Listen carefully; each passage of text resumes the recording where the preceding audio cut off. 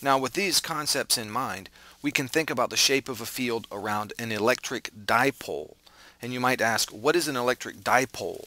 Well, the word polar just means having opposites, like the North Pole and the South Pole of the Earth. We can think of those as opposite ends of the Earth. Or you might hear the word polarized. And it, it, it, the word has broad usage. In politics, for example, some people might think the government ought to do this in a particular situation. Other people might think the government ought to do nothing in a particular situation. And they might, they might be polarized on this issue. Two people believing opposite things. So that the word polar just means having opposites. So the word dipole means two, di means two, two opposites. So an electric dipole is just a positive charge and a negative charge. One positive and one negative together. That is an electric dipole. And we can ask, what does the electric field look like around an electric dipole? Well, let's try to draw it. Let's draw some field lines. We'll draw the field lines coming outward from, a, from the positive charge and they're inward toward the negative charge. Now near the negative charge the, the electrical forces will be dominated by the negative charge. Near the positive charge the electrical forces are dominated by the positive charge. But what does the field look like in the other regions not nearby? Well let's imagine putting a little positive test charge right there. Well, the positive charge is pushing away. The positive charge is pushing in this direction, so let's draw a little vector arrow here representing the force away from the positive charge. And the negative charge is pulling in towards it. So let's draw an arrow like this representing the force pulling toward the negative charge.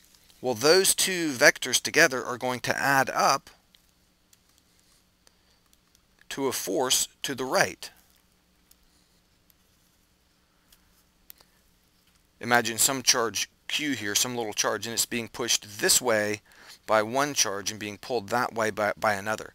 Those are two force vectors, and if we add those up with the parallelogram method for vector addition, we end up with a force to the right. And that's this little charge right here, and that part of that diagram.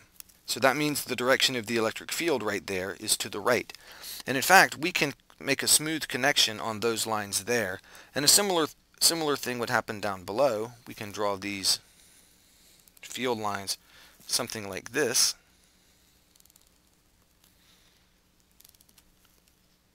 And like this.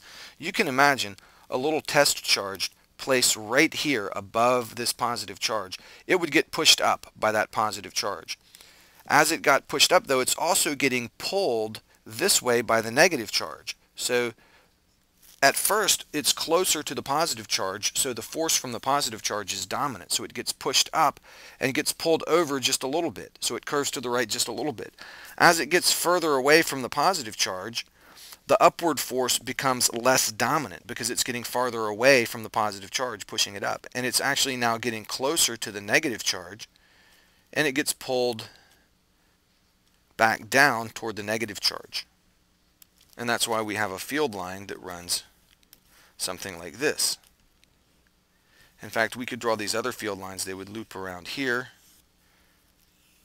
And every field line would, would leave the positive charge and come into the negative charge, except for this one right on the side here that would theoretically go straight out. And this one coming straight back in from the right. Now again, you have to picture this in three dimensions to get an accurate picture.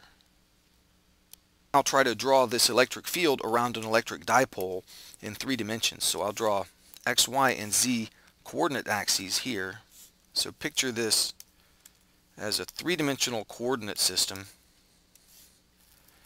So this represents right and left and up and down. And we're having a perspective view here. This represents an axis coming out of the screen and one going back in.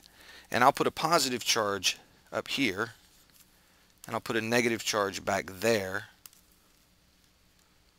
I'll make that red, so there's a negative charge back there. And since I have my coordinate axes drawn in white, I'll switch colors and draw the field in a gold color. We can imagine a field line running straight from the positive to the negative, and we can imagine one a little above that, and one a little above that, and another, and then some down here like this. And let's draw some on the side, like this. And some over here. And hopefully that looks three-dimensional. That's not bad. You can do better if you have a, um, a three-dimensional piece, a, a, piece of software plot this in three dimensions.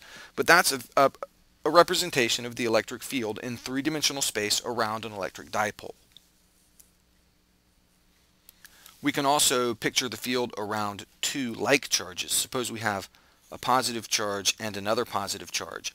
What does the electric field look like in this region of, of space around these two positive charges? Well, around a positive charge, the field is out. So these field lines are going to be outward around both of these charges.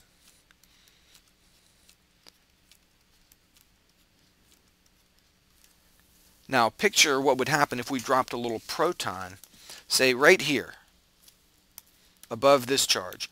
Well, it's getting pushed up by this charge. So the field is up there, but it's also getting pushed to the left a little bit because of this, this charge over here. This little proton is getting pushed by both of those. So the upward force from this large charge is dominant simply because it's closer to it. But there is some leftward push, so instead of going straight up, it veers to the left. And as it gets farther away, the push, the, the direct upward push from the, the first charge, the one on the left, becomes less dominant. So the same thing happens down here. These field lines are going to bend away like this. And this field line too, instead of going straight out, it will be pushed a, a positive charge, a little test charge place right here would be pushed a little further to the left because of this extra push from the other charge. And the field lines will bend this way. A positive test charge place right here will get pushed straight to the left. And this will, will be symmetrical. The same thing will happen over here on the right. Now if I put a little positive charge right here, at that point, what's going to happen? Well, this charge on the left is pushing it away, and this charge on the right is pushing it away. Something like that. The one, uh, the, the charge on the left is pushing it a little harder because it's closer to the charge on the left. It ends up doing something like this. These field lines, and they're going to go on up in that direction. And the same thing happens down here. And right in the middle, just at one little point, there's a not even just a space like that, but one little point. There's a point where the electric field is canceled out. The push to the right from one charge and the push to the left from the other are equal and opposite, and so they add up to zero. And again, you have to picture this in three dimensions to get an accurate mental picture, but as far as a flat picture on the screen or on the page, that's a fair representation of the electric field around two like charges. There's one other situation that's pretty important, and this will show up later. Imagine two parallel plates. So here's a flat plate, and this is made of metal. And here's another one underneath it, and they're parallel. And let's suppose these plates are charged. One has a lot of positive charge piled up on it, and the other has a lot of negative charge piled up on it. So I'll just draw little positive signs to represent that plate being positively charged, and I'll put some negative signs down here to represent this plate being negatively charged. It turns out that the field between these plates is very uniform. The field lines are straight, they're not curved, they go directly from one to the other, and they're uniform in intensity. The field is not stronger closer to one plate uh, or weaker there in the middle when it's kind of far from both of them. The, the strength of the field is uniform throughout. And the field doesn't exist above or below the two plates. It's all canceled out. This isn't perfect. What happens is you do get a little bit of edge effects around here and these field lines. They, they get very weak here. But this uniform field, saying that the field is uniform in direction and in intensity, is a very good approximation, especially if the size of the plates is large compared to this distance between them. In other words, if you have plates that are flat and have a pretty large area compared to that very small distance, then the field in between the plates really is very, very uniform, uniform in direction and in intensity. This device has a name. This is called a capacitor. You can hook up some wires, hook up some wires to these plates, and run some electric put some voltage in there and charge up one plate positive and one negative.